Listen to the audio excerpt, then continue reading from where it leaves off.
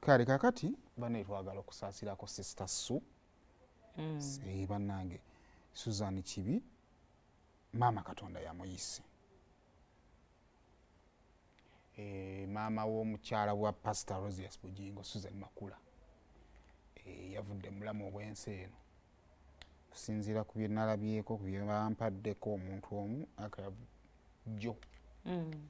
naku lweggulo so susan tusaba katonda munanga agumye Mm. Eh, mu kaseera maama taku- takugwanga buwoomi Mm. Eh, wonna wonna waali aba akyetaagibwa wonna wonna wonna Eh, naye ate era kyemmanyi agenze musanyufu Mm. Nga shes proud of you Ah, so naye nga tubasaasiddeko ne musumba tubasaasiddeko ne famire yonna ebyo byebyo nno tubasaasiddeko bannaaye.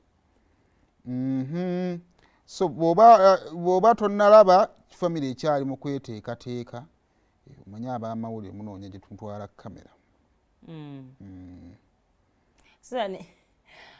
Bwe- bw'obisa wano obwongo wange ne bujjukira lwa interview gye yakola n'agamba ema eddako. Aba waliwo ebyali bigenda mu maaso?